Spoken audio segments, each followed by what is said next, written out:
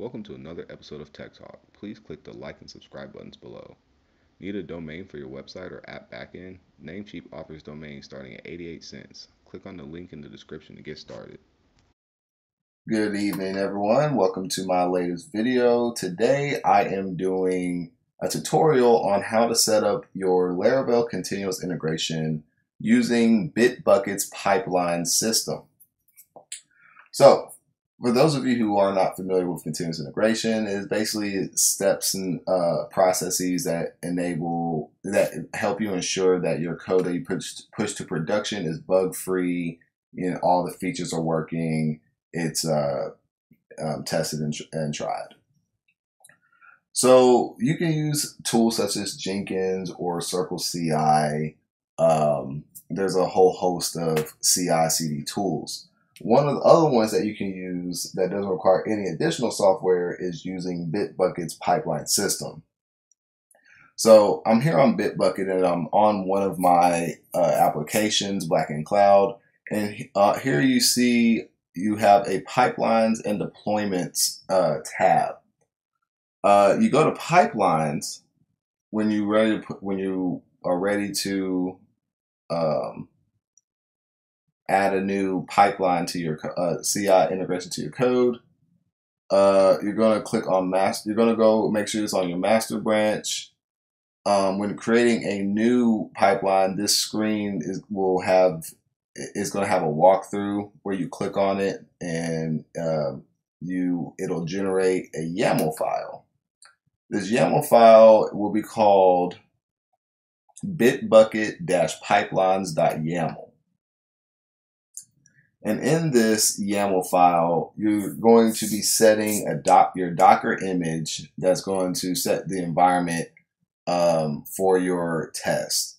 In this, we're going to be using the uh, Loris Leiva Laravel Docker image, um, which is going to include all the things that you need in order for um, in order to run your Laravel installations. And then you're going to set up your pipelines, um, you can under and everything under pipelines is going to be your um, your your pipelines, your Bitbucket pipeline, your scripts. So here we have a branches um, tag.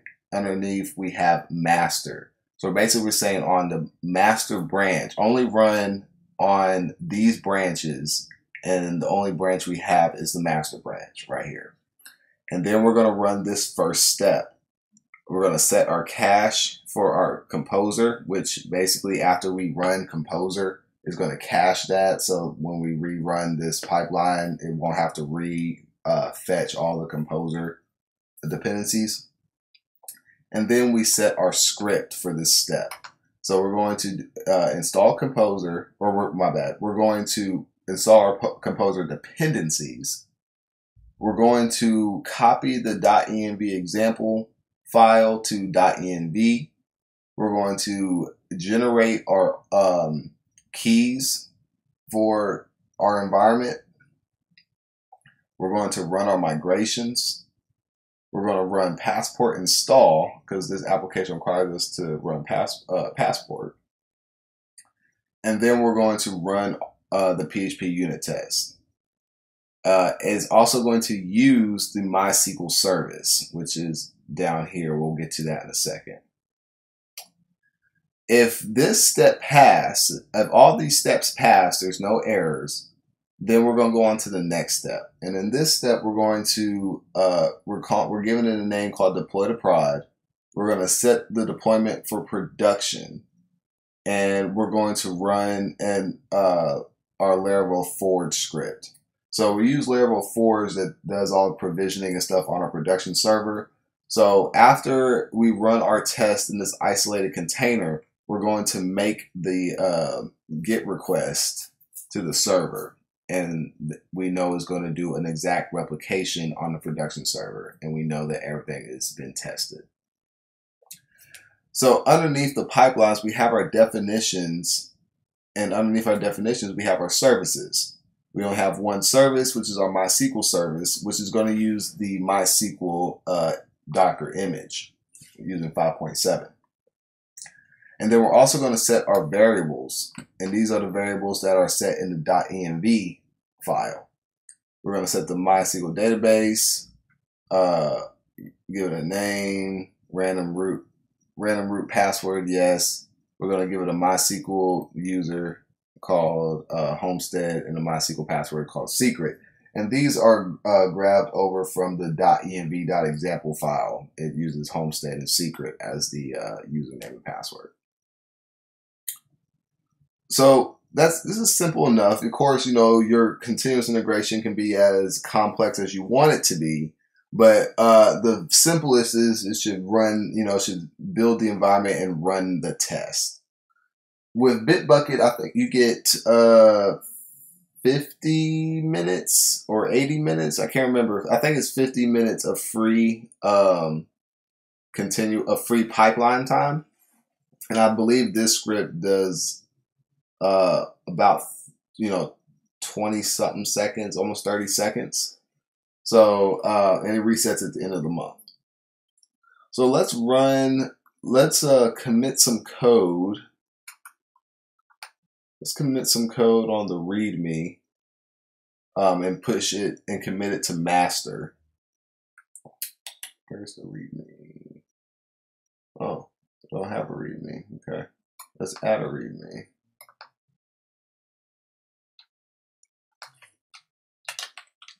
readme.md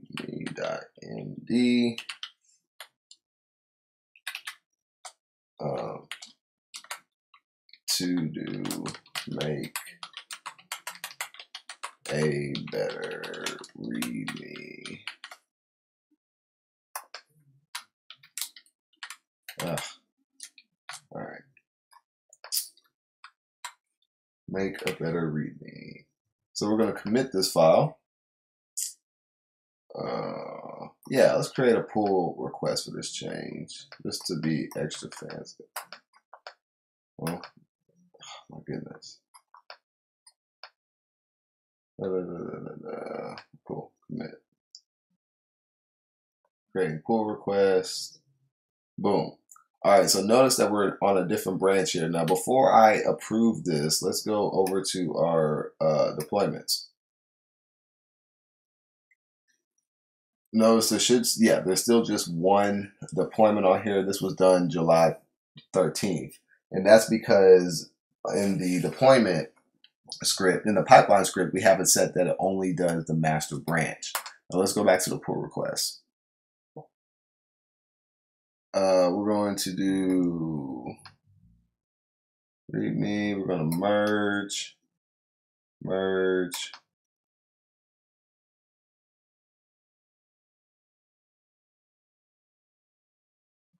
All right, deployments.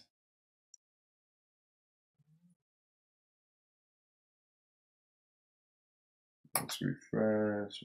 Start yet.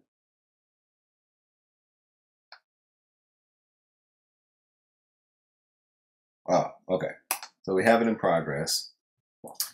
So um, the pipeline is running, is doing the build setup, it's doing Composer install. It's installing everything on Composer.